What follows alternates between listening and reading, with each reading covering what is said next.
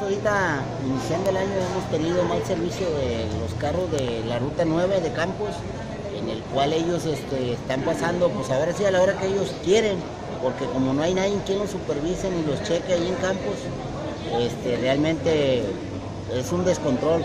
Según este, tienen que estar trabajando desde las 6 de la mañana y no, pasan hasta las 6 y media, 6.40 y en la noche la ruta, este, la ruta máxima que tienen que pasar es hasta las nueve y media, para que a las 10 ya ellos entreguen y no pasa a las nueve y media.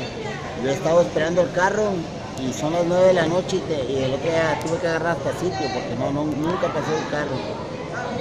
Preguntarte, ¿cuánta gente se ve afectada? Estamos hablando de que toda la gente que trabaja aquí en Manzanillo y todo, estamos hablando de una cantidad de unas 150 gentes a 200.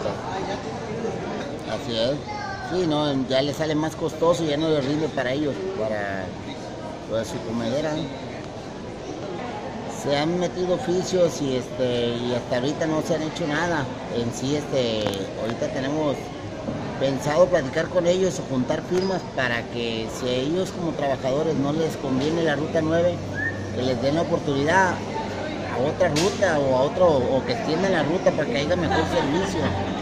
A mí qué, más qué mejor me gustaría que la ruta se extendiera de, Campos a Santiago. ¿Para qué? Para que estén continuamente este, trabajando los choferes y también les salga para ellos y salga bien para nosotros, que es lo que se pretende hacer, pedirle la petición que se extienda la ruta de Campos a Santiago. ¿Me regalas tu nombre y tu cargo?